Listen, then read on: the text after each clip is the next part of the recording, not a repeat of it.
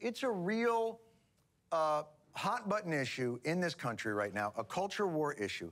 The critics are saying that gender affirming care is nothing more than uh, woke doctors and woke parents and activists mm-hmm. uh, manipulating confused children into mutilations and life altering uh, experimental drug therapies. Now, you both have children. What's your experience been with this? Well, it's interesting that, you know, folks might say that these are woke parents because my husband and I weren't really woke about this.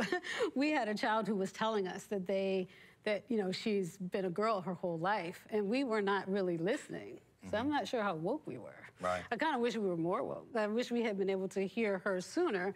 Um, it took us a few years to really listen and appreciate that she was telling us who she was.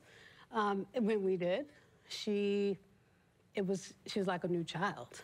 She just literally lit up, woke up. She woke up when we supported her. We said, we recognize that this is who you are, and we're going to support you in our house, and we're going to support you in your life.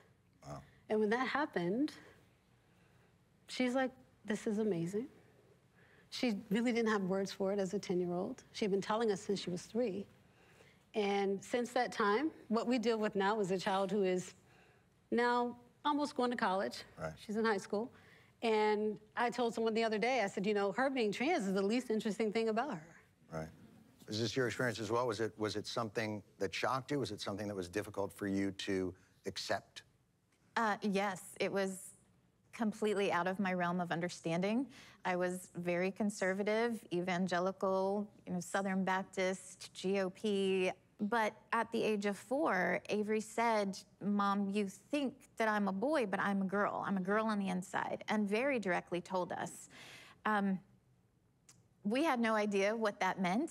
Uh, again, this, it was out of our thinking. We thought maybe we have a gay boy who's confused. We thought the same thing. We went to ask questions. We talked to doctors. We, we went to endocrinologists just mm -hmm. to mm-hmm. check the XXXYs, all the things.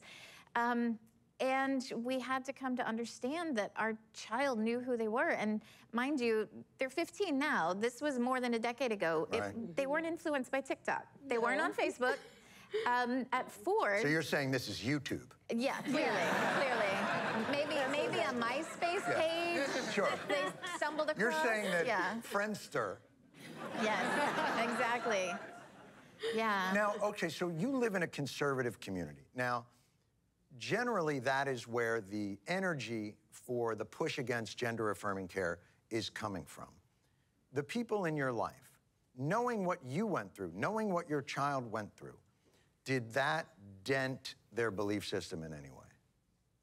I wish I could say it did. Um, we were the most conservative out of all the families in our uh, friend group with kids at preschool and everything. But when we said this is who our child is. Um, we lost our, all of our friends. We really had to rebuild from the ground up because we lost our entire support system.